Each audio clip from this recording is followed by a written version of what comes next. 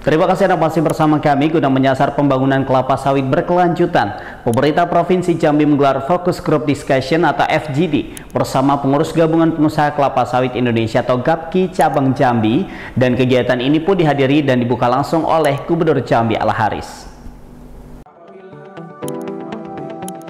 Bertempat di Swiss Bell Hotel Jambi, Gubernur Jambi Al Haris menghadiri sekaligus membuka kegiatan FGD bersama pengurus gabungan pengusaha kelapa sawit Indonesia atau GAPKI cabang Jambi.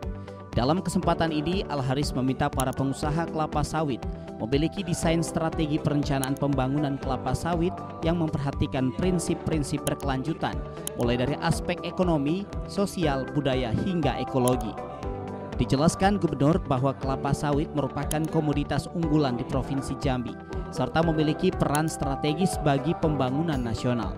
Secara umum, luas kebun kelapa sawit di Jambi seluas 1.134.640 hektar, di mana jika dirincikan berdasarkan kepemilikannya, BUMN memiliki lahan seluas 23.057 hektar, pihak swasta seluas 518.000 869 hektar dan milik rakyat seluas 592.714 hektar.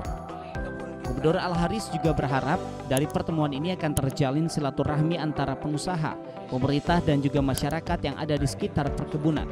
Mengingat keberlanjutan industri kelapa sawit baik daerah maupun nasional masih menghadapi berbagai tantangan, Salah satunya berkaitan dengan bagaimana meningkatkan komitmen para pihak yang terlibat dalam pembangunan kelapa sawit berkelanjutan untuk mensinergikan prinsip 5P, yakni people, planet, prosperity, peace, dan partnership.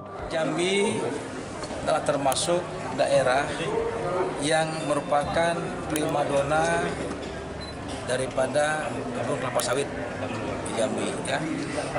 Nah, luasan kebun kita semakin hari makin bertambah. Ke hari ini mungkin sudah ada 1,2 juta luas lahan kita. Karena luasan lahan itu, luas lahan masyarakat sudah melebihi luas lahan daripada perusahaan.